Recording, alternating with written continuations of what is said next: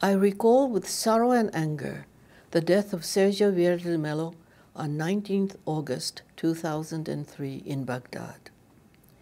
He was with over 20 UN staff and were victimized by a massive bomb. Ever since then, and even today, I feel that we should not have lost him.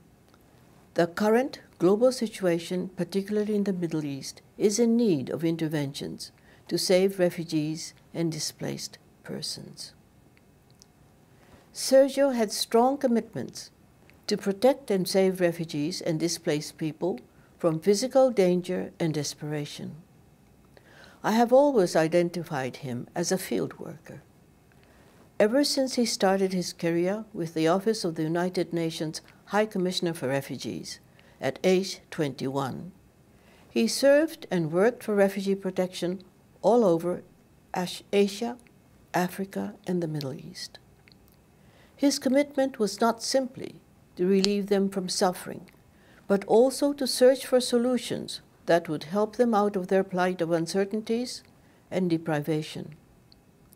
His other strong commitment was to the United Nations. Through his exposure to UN peacekeeping operations in Cambodia, Lebanon, and Yugoslavia, he led them to help turn the miserable and actual people situations on the ground in a direction of security and stability. Before undertaking the responsibility of Special Representative to Iraq, Sergio also served as the High Commissioner for Human Rights.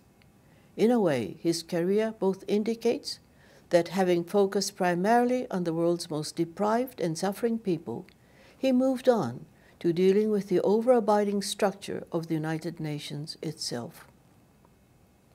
I often wish that we could have had Sergio much longer to cope with the ever-growing problems that the UN has had to cope with these days.